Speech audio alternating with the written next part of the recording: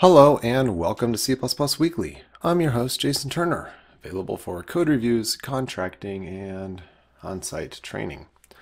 So in this episode, I want to briefly cover operator overloading in C++. I don't believe I have mentioned that at all yet in C++ Weekly, but I have been doing this for a while, so anything is possible. It is possible that I have done it and I have forgotten about it.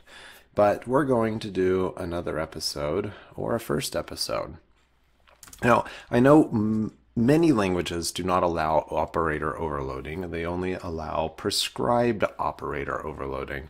C++ allows us to overload almost every operator. Not every operator, but almost every one. Ah, that's right. I have done an episode in the past about why you should never overload the um, logical and or logical or um, operators. So you can go and look at that if you want to.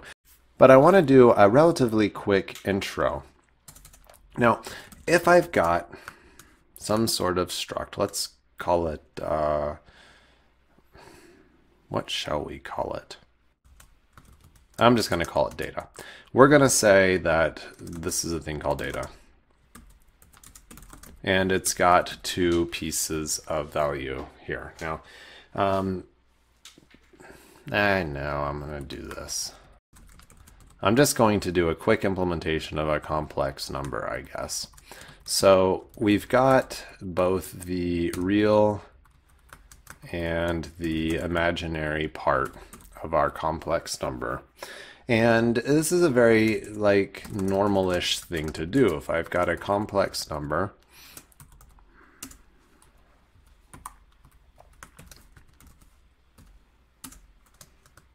Uh, I might want to add another complex number to it.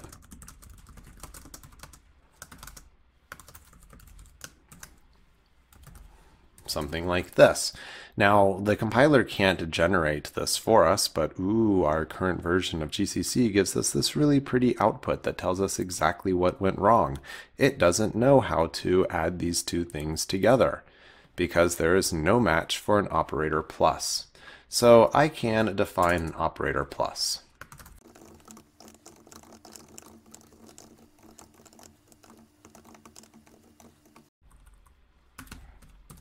And it can be just this simple. Now, um, there are like three different ways to create an operator like this, particularly a operator that takes two parameters, a binary operator. And the this is one, it can be created as a free function. Now, part of the problem with creating it as a free function is if I needed to access private data in order to do this, say if our complex implementation looked something like this,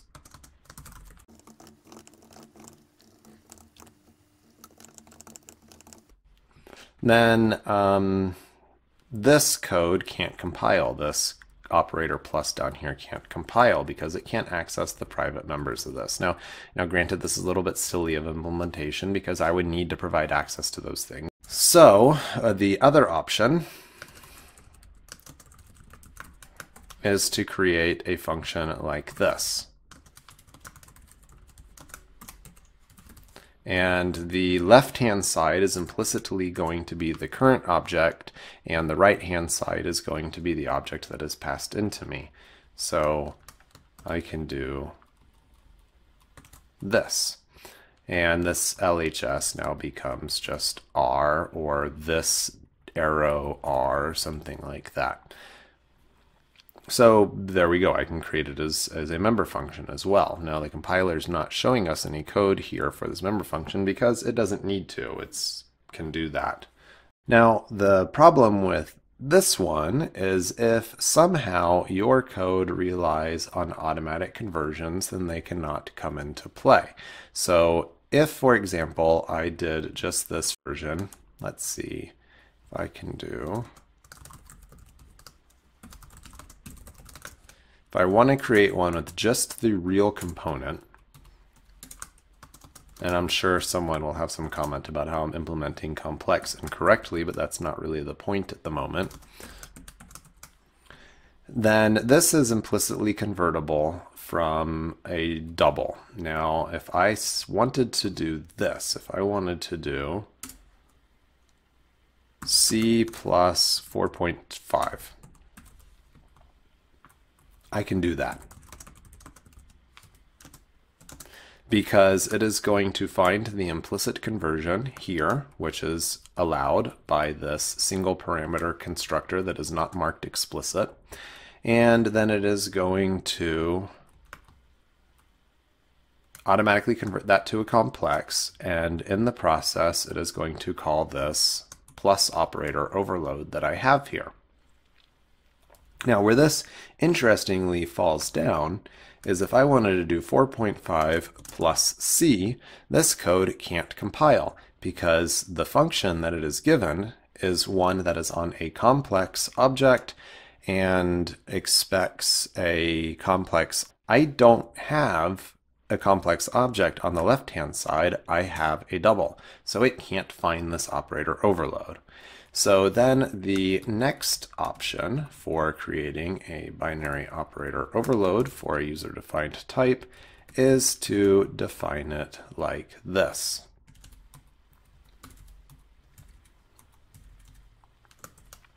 It is a free function specified inside the body of the class. Now this isn't compiling. Isn't compiling because this doesn't make sense from a C++ perspective. This operator plus should only take one parameter.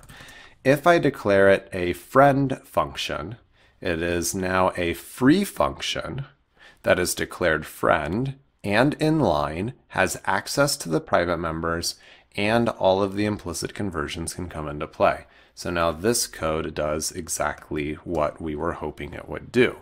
Now, of course, best practices generally say that this should be explicit. Maybe it's not true in all cases. And also, um, this is a very trivial type, which clearly should be constexpr. And as long as we are talking about it, we should probably also mark the return of our plus operator overload as no discard. Hmm, if I just get it in the correct order.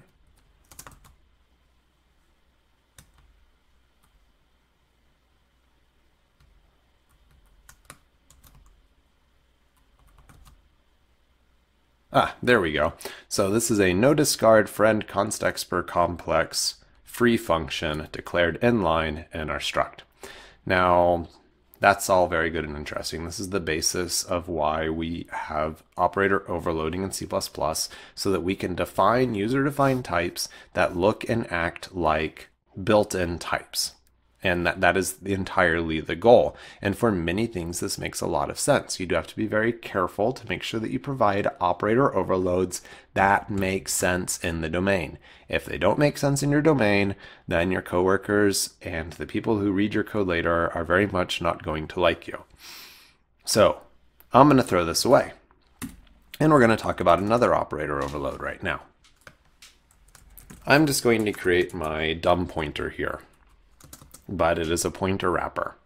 And it is a pointer wrapper around an int. That is my p.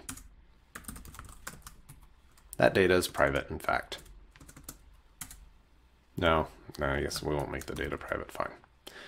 Now, if I want this thing to actually behave like a pointer, I need to provide an operator arrow overload.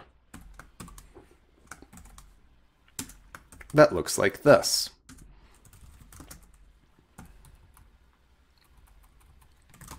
It returns an int pointer. This is a unary operator. It doesn't make sense to make this a free function or a friend function or anything like that. Just define this thing in line 99% of the time. And this is also something that could be const constexpr. Now we have decisions to make. We have decisions about const versus non-const versions of this. Now we're going to get a, uh, there we go. So if I make this const, I can return a non-const reference to my data member even in a const member function. And this is in fact how shared pointer and unique pointer are implemented. But this is just a quick example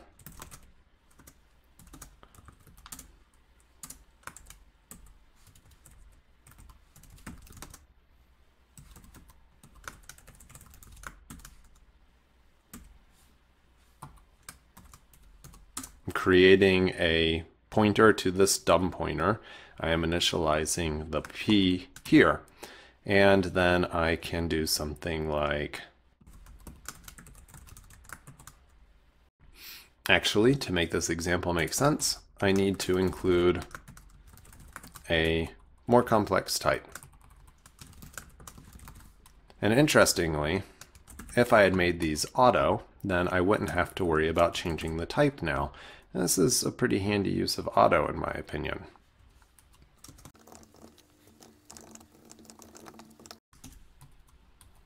Could also have made this a templated type.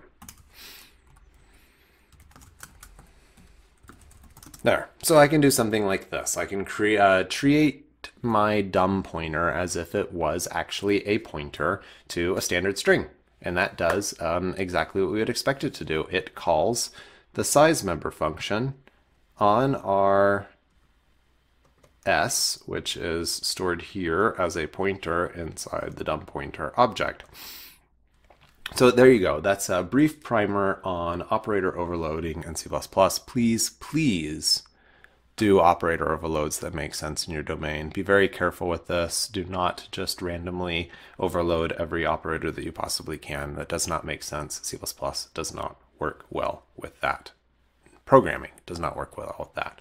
So thanks for watching this episode of C++ Weekly.